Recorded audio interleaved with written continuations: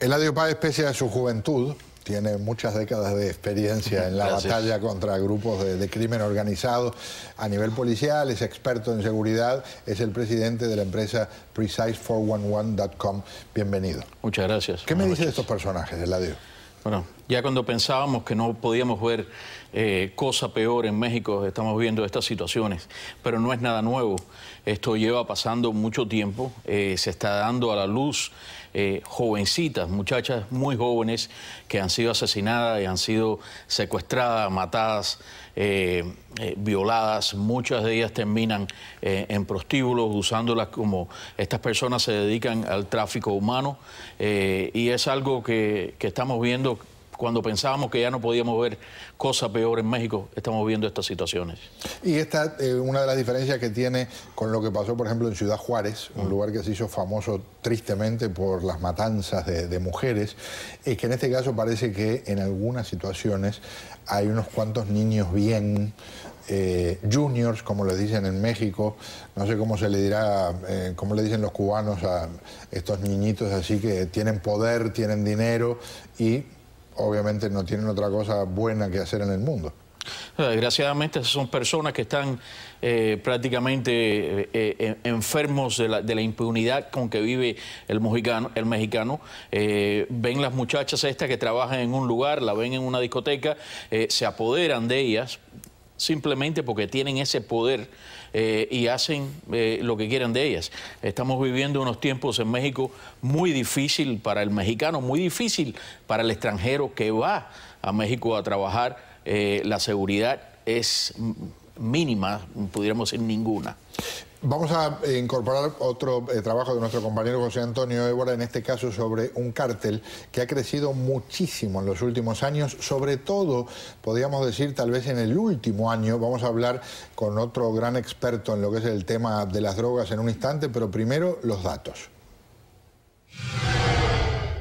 Mientras el gobierno mexicano arreciaba su ofensiva contra carteles tradicionales como el de Sinaloa o los Zetas, otra banda criminal emergente venía llenando el vacío del mercado que dejaban las hermanas mayores. Así, con las ventas de droga fue ganando dinero y con el dinero fue comprando armas y reclutando más delincuentes hasta convertirse en lo que es ahora, el cartel Jalisco Nueva Generación. Hoy por hoy, uno de los más poderosos de México. La estrategia de su líder Nemesio Oseguera, alias El Mencho, es controversial, pero indudablemente le ha dado resultado, ir de frente contra el gobierno. El primero de mayo sembró el caos al bloquear calles y carreteras en la ciudad más grande del país, Guadalajara, y derribar un helicóptero militar con un lanzacohetes. Félix Jiménez fue inspector general de la Agencia de Lucha contra las Drogas, la DEA. Es un gusto decirle bienvenido. Buenas noches. Muy buenas noches, Pedro. Gracias por la invitación. ¿Qué me cuenta de estos personajes? Bueno, mira, Pedro, eh, eh, es la evolución de, qué es lo que está pasando en México. Mira, para que el público televidente pueda entender lo que está pasando en México, yo quiero transportar esta situación a Miami. Eh, Guadalajara es la ciudad, la segunda ciudad más grande que existe en, México. Entonces, ¿qué pasa? Vamos a pensar que un grupo de 15, 20, eh, eh, o sea, 30, 40 individuos en 15, 20 SUV bloquean la avenida Brickell, eh, bloquean Biscayne Boulevard y otras avenidas principales, se apoderan del centro de Miami y entonces ahí vandalizan los bancos, le roban a los bancos, la gasolinera, todo lo que sea negocio lo controlan ellos y se lo roban. Y si no lo pueden robar, le pegan fuego. Y entonces, ¿qué pasa? Cuando el ejército responde a esta situación, imagínate un helicóptero sobrevolando por la, por la bahía, entrando aquí en, en Brickell, ellos vienen y le disparan con, con unos misiles y tumban el helicóptero. Eso fue exactamente lo que pasó en mayo primero en Guadalajara.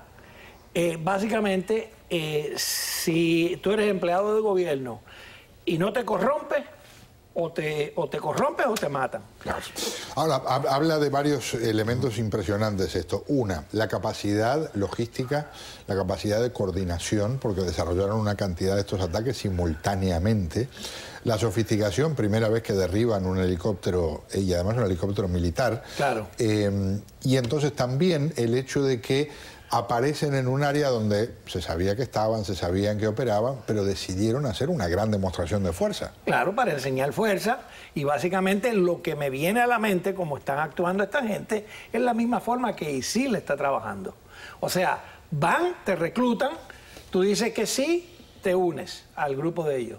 Dices que no, te matan. Y eso es lo que está ocurriendo. He leído varios casos recientemente en México donde han ido a buscar de estos, estos muchachos jóvenes para reclutarlos, han dicho que no, y al otro día aparecen asesinados en, la, en cunetas. ¿Tiene clientes que eh, viajan a México, que trabajan en México, Eladio? Definitivamente, y, se hace algo sumamente difícil. Eh, una de las cosas que dijo Félix, eh, que es importante recargar, el esa impunidad que existe, esa logística donde estos grupos pueden controlar una ciudad de esa manera, da mucho a pensar, da mucho a pensar de todas las personas que están en el gobierno municipal, local, que están envueltos en eso. Esa logística tienen que contar con personas que están dentro del gobierno para poder llevar a cabo esas operaciones. Son unas operaciones a nivel militar eh, eh, eh, es sumamente difícil poder llevar a alguien o asegurar a alguien que vaya, que entre a los estados de México a hacer cualquier tipo de trabajo, cualquier tipo de negocio. Felipe me contaba hace tiempo, y tendrá muchas anécdotas sobre el tema, lo extraordinariamente difícil que era para la DEA, por ejemplo, confiar en gente de las autoridades eh, mexicanas y cómo tenían que a veces estar cambiando de interlocutor porque les avisaban a los malos que se estaba planificando algo contra ellos. Mira, Pedro, eh, lo, único que ha funcionado en México eh, son estas unidades que son lo que se llaman Better Unit, que son personas que se reclutan, que son policías o militares, y cada mes o cada dos meses se le da un polígrafo un detector de mentiras para ver si no están comprados o no. Y, muchos de ellos, que tú confías en ellos, que crees que son, no pasan el detector de mentiras porque están comprados por, por los carteles. Hablamos del ejército en este caso, pero curiosamente, aunque sea operativos en tierra, la Marina mexicana es la que ha tenido un papel muy destacado.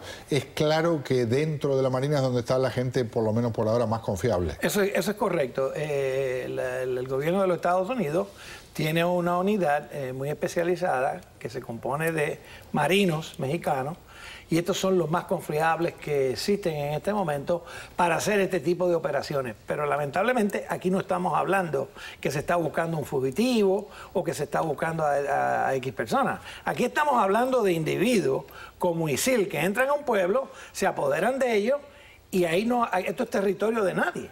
Aquí, o sea, o tú trabajas con ellos o te matan. Eso es lo que se está viviendo en México. Al punto que además eh, le quería preguntar a, Eladio algo sobre eh, las empresas que trabajan en México, los costos de seguridad tienen que ser muy, pero muy elevados. Cuando hablamos de una empresa estadounidense enviando ejecutivos a México, por ejemplo.